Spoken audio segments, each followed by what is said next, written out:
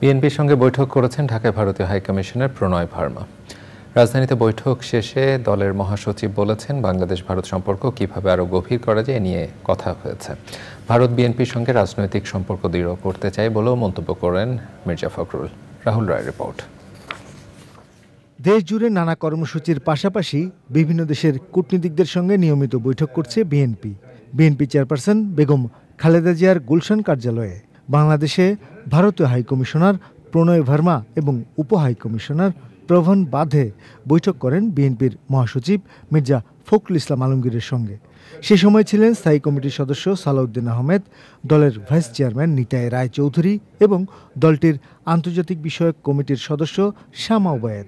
বৈঠক শেষে সাংবাদিকদের সঙ্গে কথা বলেন বিএনপি মহাসচিব। ভারত বাংলাদেশের মধ্যে যে আপনার সম্পর্ক, সেই সম্পর্ককে আরও কীভাবে গভীর করা যায়, দৃঢ় করা যায়, সে বিষয়ে আলোচনা হয়েছে।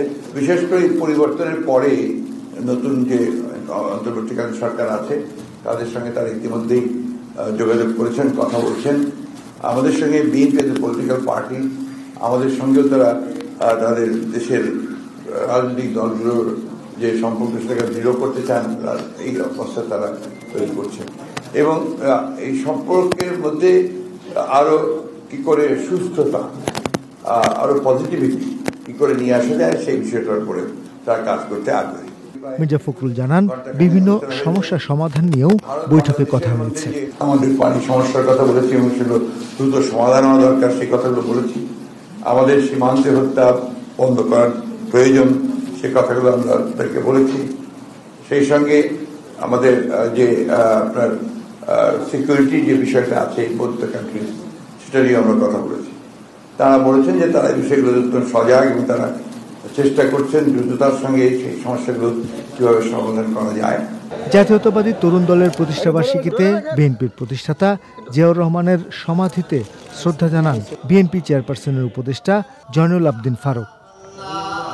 কক্সবাজারে বৈষম্য বিরোধী ছাত্র আন্দোলনে নিহতদের পরিবারের সঙ্গে সাক্ষাৎ করেছে আমরা বিএনপি পরিবার। সেলটির আহ্বায়ক আতিকুর রহমান রুমন বলেছেন সেলের প্রধান পৃষ্ঠপোষক বিএনপির ভারপ্রাপ্ত চেয়ারম্যান তারেক রহমানের পক্ষ থেকেই তারা শহীদদের পরিবারের পাশে দাঁড়িয়েছে।